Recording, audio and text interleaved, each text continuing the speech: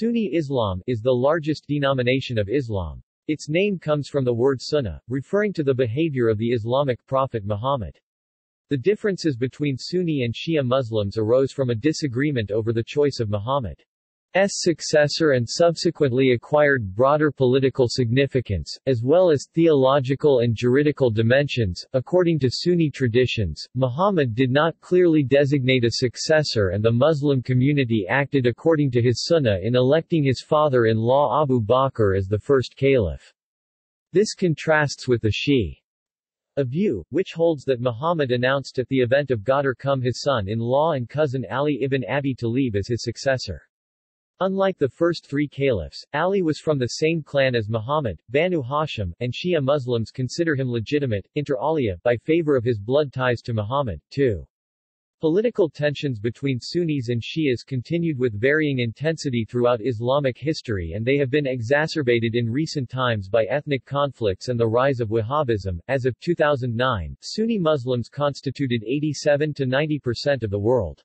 S Muslim population. Sunni Islam is the world's largest religious denomination, followed by Catholicism. Its adherents are referred to in Arabic as al as-Sunnah wa al-Jam'ah, the people of the Sunnah and the community, or al as-Sunnah for short. In English, its doctrines and practices are sometimes called Sunnism, while adherents are known as Sunni Muslims, Sunnis, Sunnites and al as-Sunnah.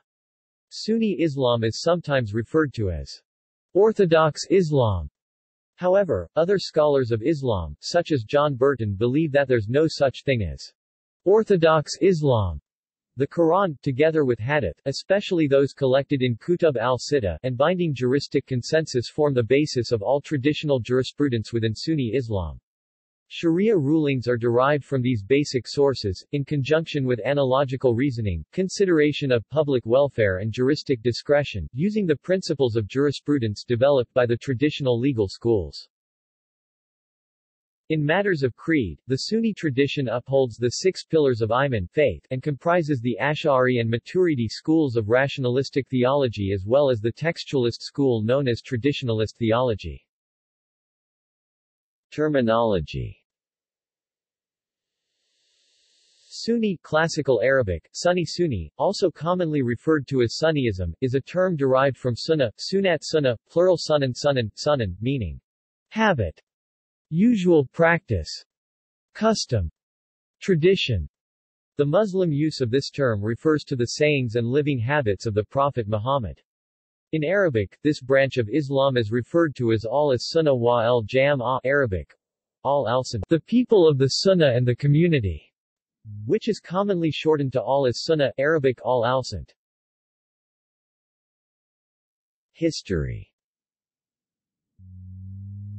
One common mistake is to assume that Sunni Islam represents a normative Islam that emerged during the period after Muhammad's death, and that Sufism and Shi'ism developed out of Sunni Islam.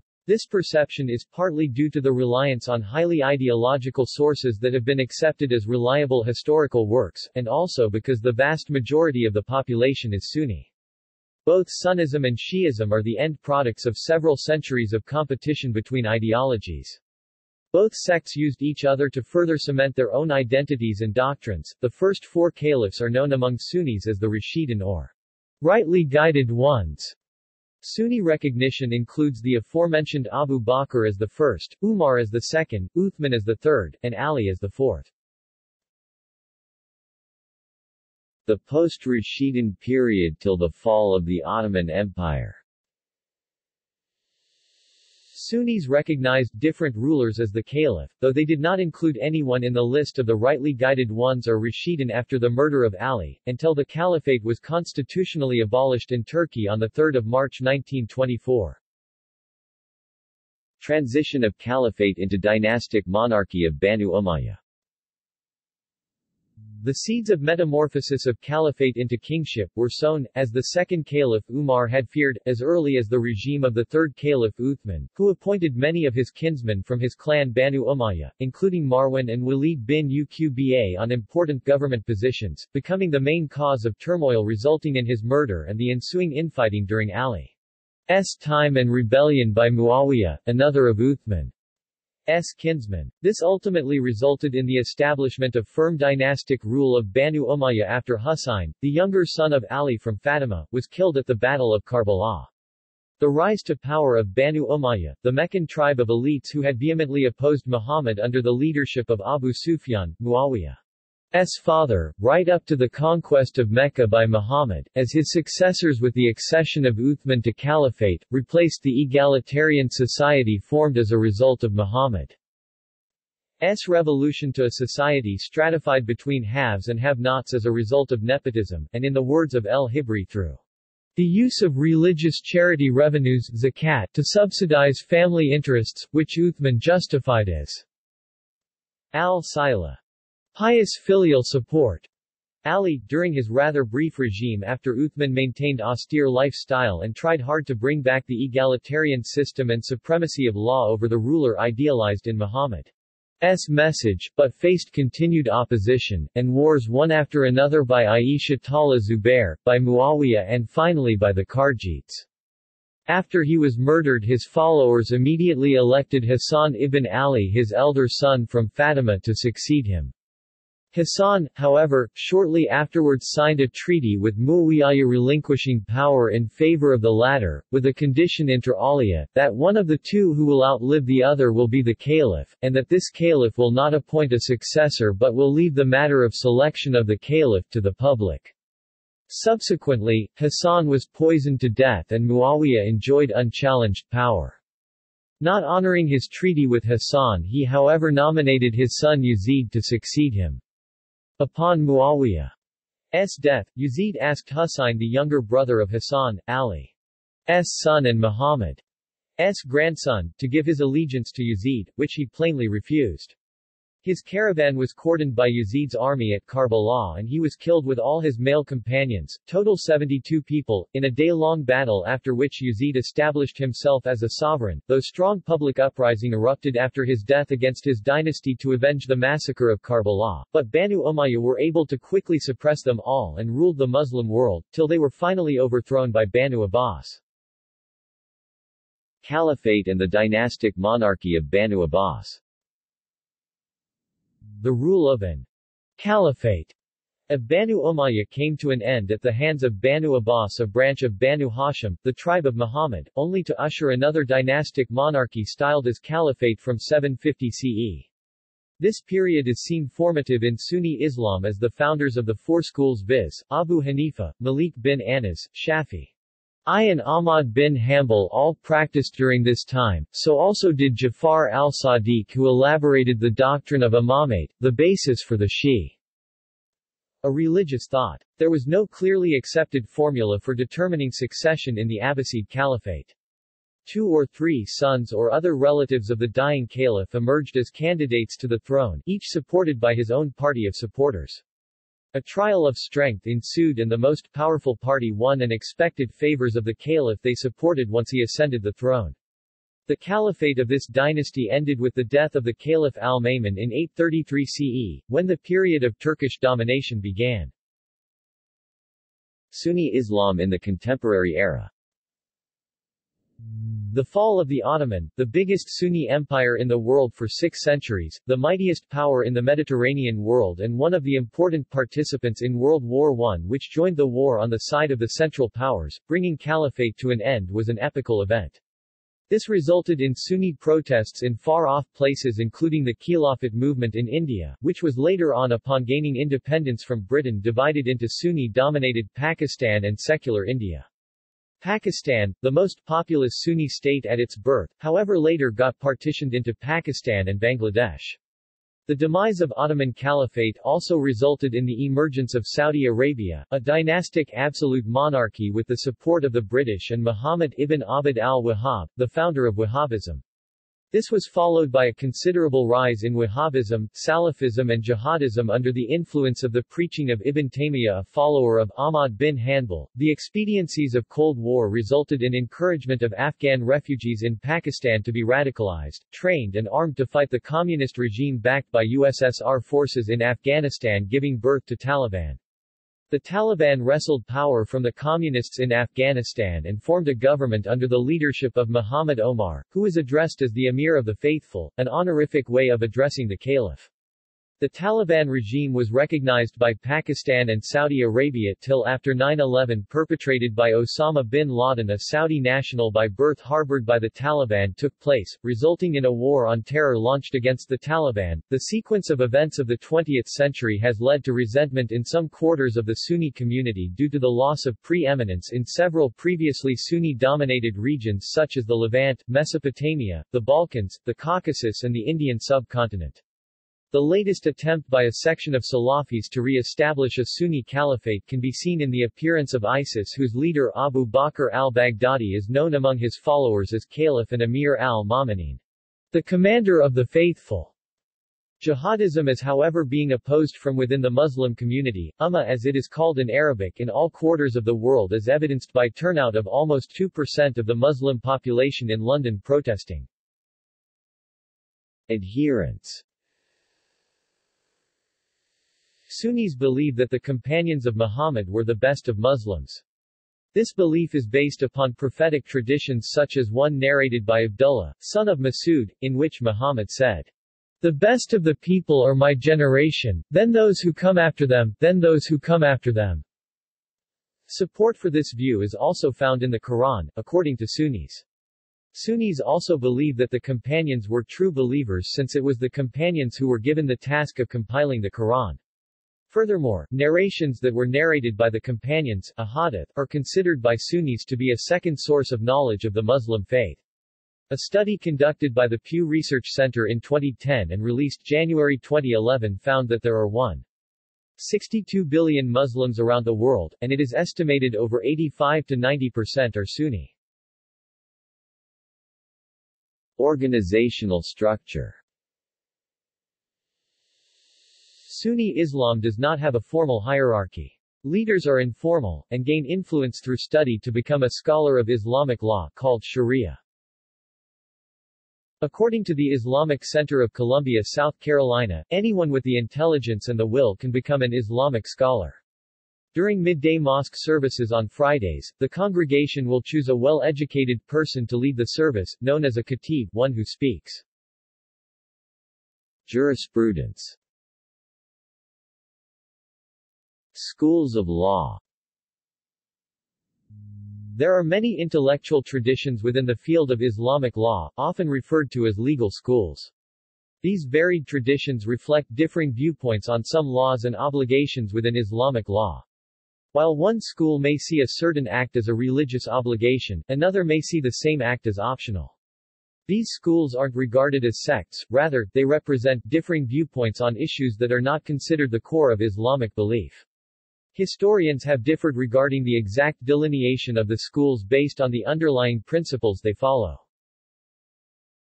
Many traditional scholars saw Sunni Islam in two groups, al al-Ra, I, or people of reason, due to their emphasis on scholarly judgment and discourse, and al al-Hadith, or people of traditions, due to their emphasis on restricting juristic thought to only what is found in scripture.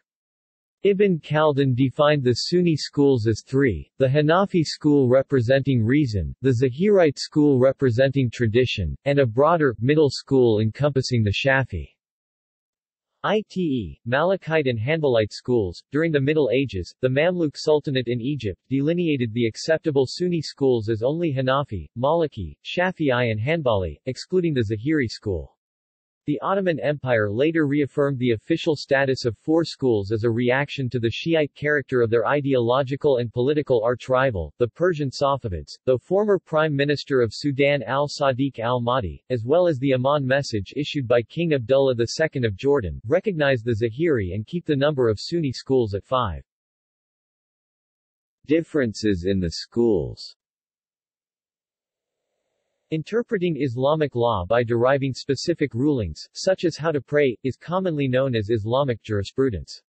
The schools of law all have their own particular tradition of interpreting this jurisprudence. As these schools represent clearly spelled out methodologies for interpreting Islamic law, there has been little change in the methodology with regard to each school. While conflict between the schools was often violent in the past, today the schools recognize one another as viable legal methods rather than sources of error or heresy in contrast to one another. Each school has its evidences, and differences of opinion are generally respected. Conflict between the schools was often violent in the past. Pillars of Iman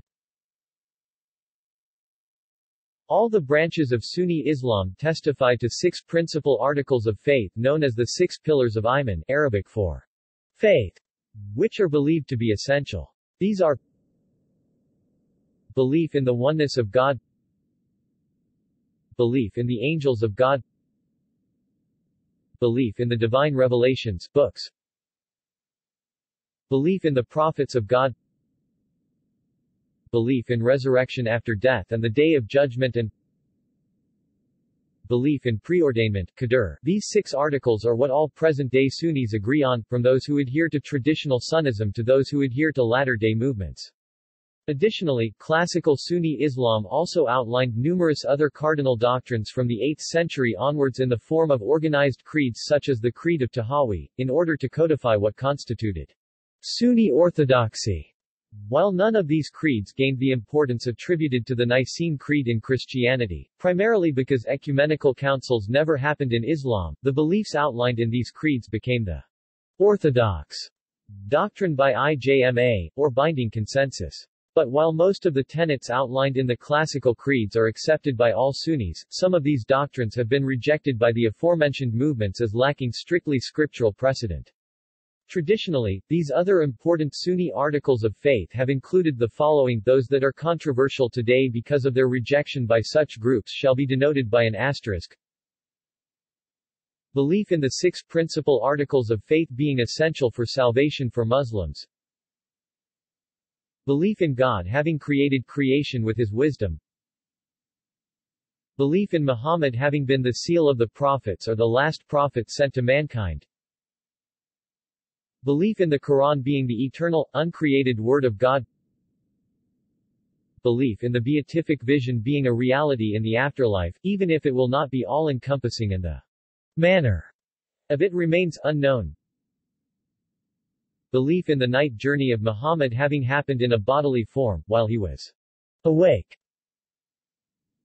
Belief in the intercession of Muhammad being a reality on the last day belief in God's covenant with Adam and his offspring having been true.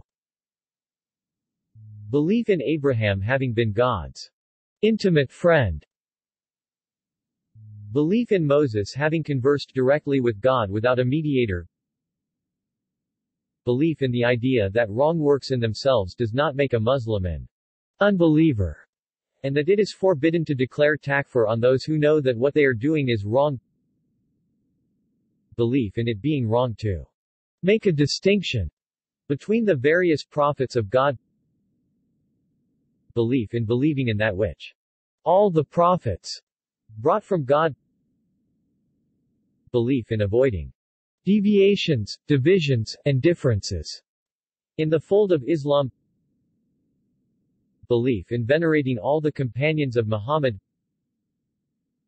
belief in the existence of saints, and in venerating them and accepting the traditional narratives of their lives and miracles asterisk. Belief that saints, while exalted in their own right, occupy an infinitely lesser rank than the prophets and that one of the prophets is greater than all the saints put together. Asterisk. Belief in the signs of the apocalypse belief that Jesus is the promised Messiah of God and that all Muslims await his second coming. Theological traditions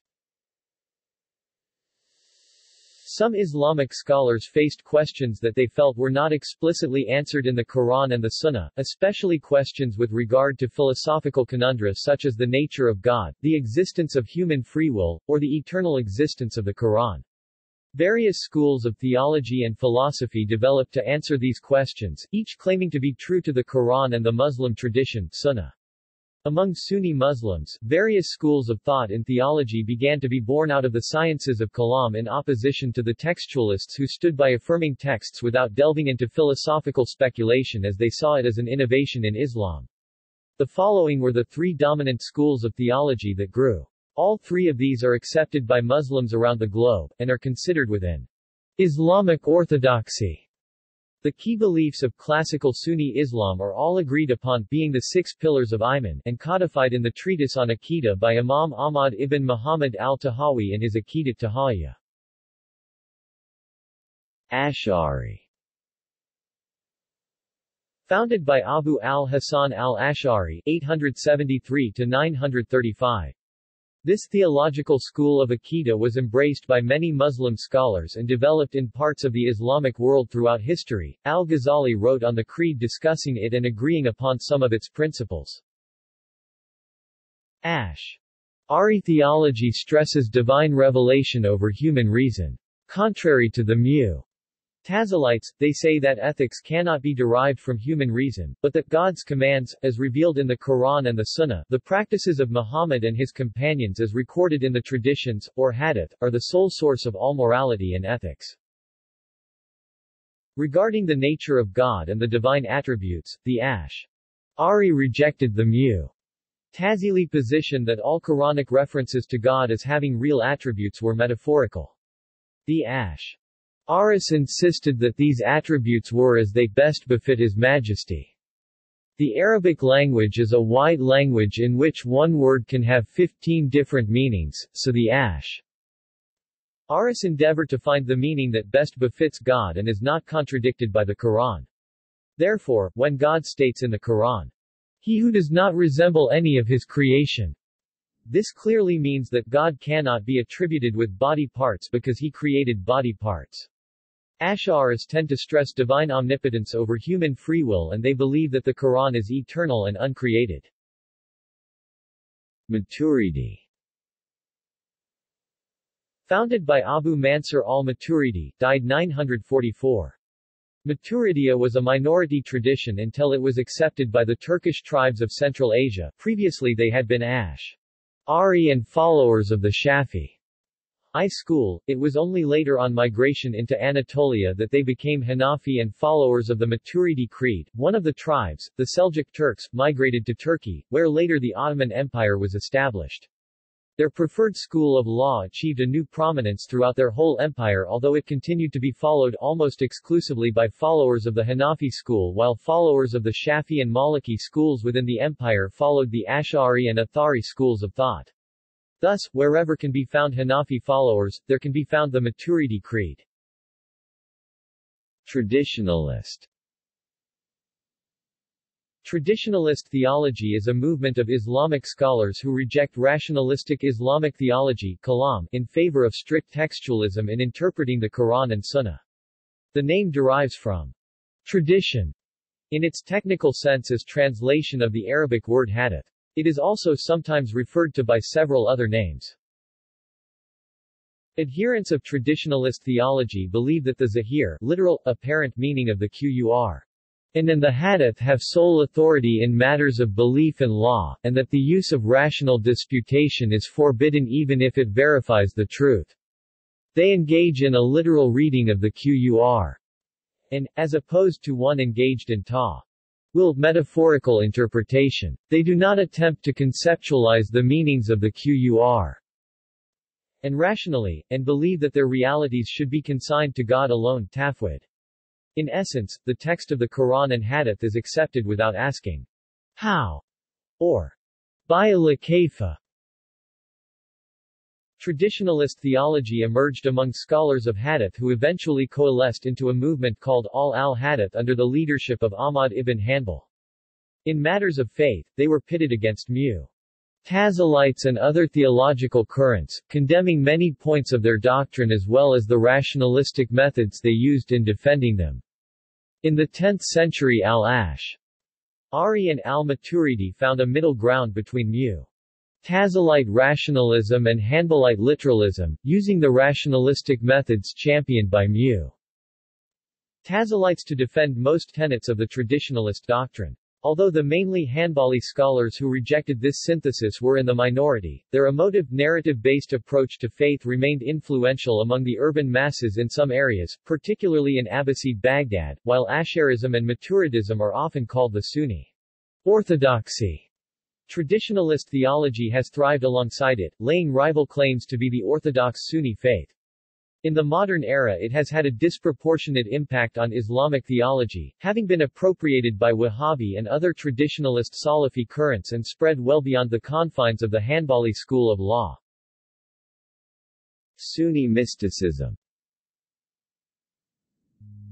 There has also been a rich tradition of mysticism within Sunni Islam, which has most prominently manifested itself in the principal orders of Sunni Sufism.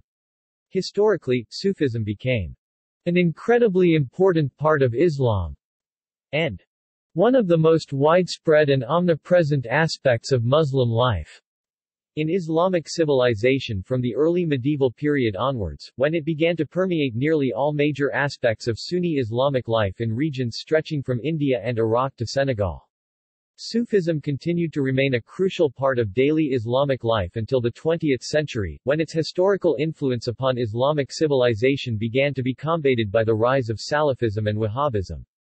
Islamic scholar Timothy Winter has remarked, In classical, mainstream, medieval Sunni Islam,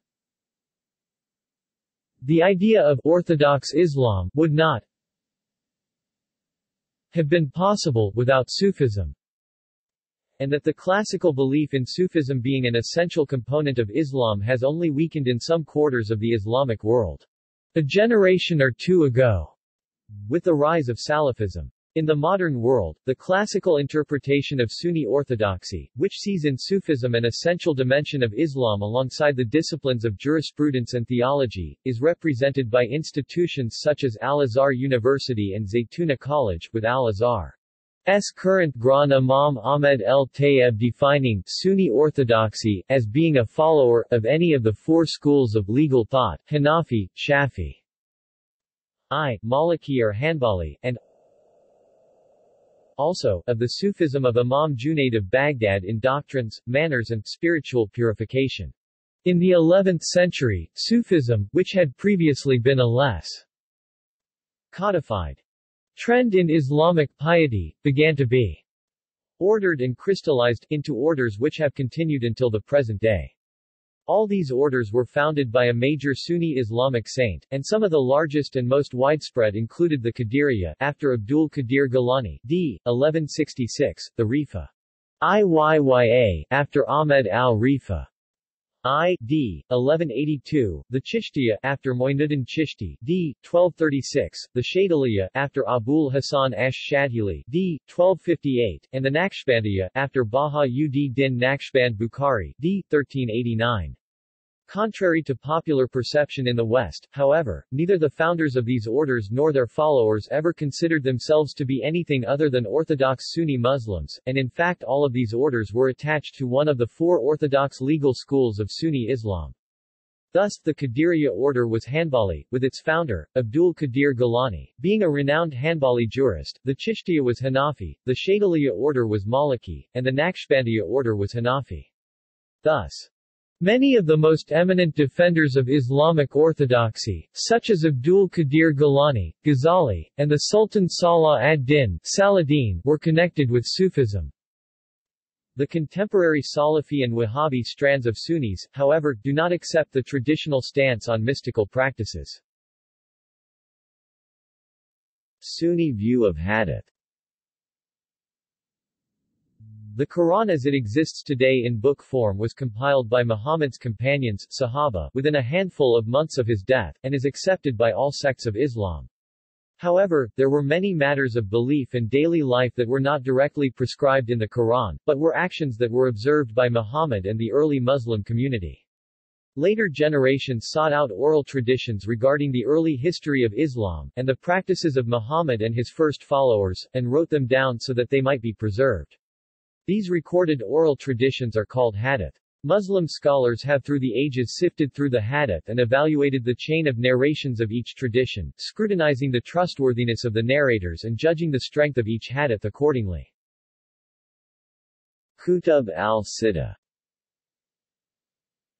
Kutub al-Sitta are six books containing collections of hadiths. Sunni Muslims accept the hadith collections of Bukhari and Muslim as the most authentic, sahih, or correct, and while accepting all hadiths verified as authentic, grant a slightly lesser status to the collections of other recorders. There are, however, four other collections of hadith that are also held in particular reverence by Sunni Muslims, making a total of six. Sahih al-Bukhari of Muhammad al-Bukhari Sahih Muslim of Muslim ibn al-Hajjaj Sunan al-Sugra of al-Nasai Sunan Abu Dawud of Abu Dawud Jami, at Tirmidhi of al-Tirmidhi Sunan Ibn Majah of Ibn Majathir are also other collections of hadith which also contain many authentic hadith and are frequently used by scholars and specialists.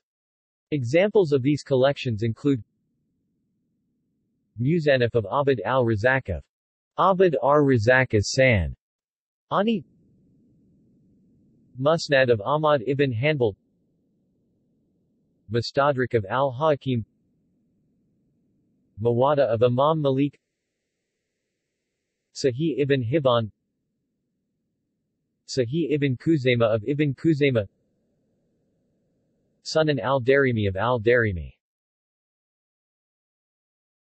See also Islamic schools and branches Sunni disambiguation References Further reading Brannon Wheeler, Applying the Canon in Islam, The Authorization and Maintenance of Interpretive Reasoning in Hanafi Scholarship, SUNY Press, 1996.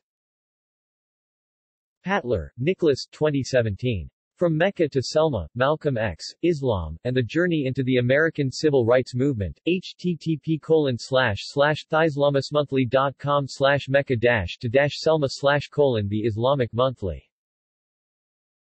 External links Islam.org. UK International Quran Books relating to belief of Ahl as-Sunnah